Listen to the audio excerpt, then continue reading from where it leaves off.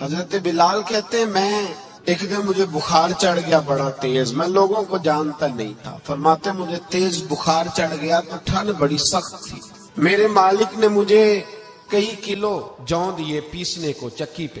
कहते, मैं बीमार था तो मैंने कुछ दवाई ली जो उस वक्त मौजूद होती थी तो मैंने एक लिहाफ लिया। दूध पिया तो मुझे नींद आ गई।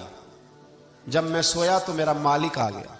उसने आकर के मुझे सोए हुए देखा तो खींच कर कंबल उतारा, रजाई उतारी, लिहाफ उतारा। कहने लगा, अब तेरी सजा ये है कि तू खुले मैदान में बैठेगा।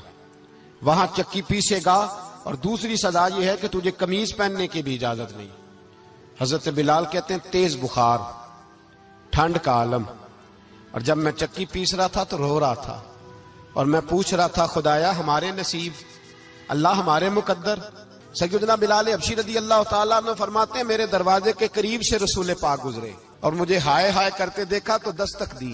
मैंने कहा, कौन है? दरवाज़ा खुले, आ जाओ। महबूब अंदर आए तो पूछने लगे, क्यों रो रहे हो? तो मैंने कहा, जाओ, अपना काम करो। यहाँ दुख सारे पूछते हैं, मदावा कोई नहीं करता। कहते मैंने सख्त जुमले कहे माज अल्लाह हुजूर चले गए।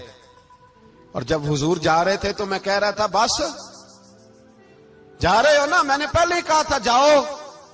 कहते हैं, कुर्बान जाऊँ, थोड़ी देर गुजरी तो अल्लाह के रसूल के हाथ में गर्म दूध का प्याला था।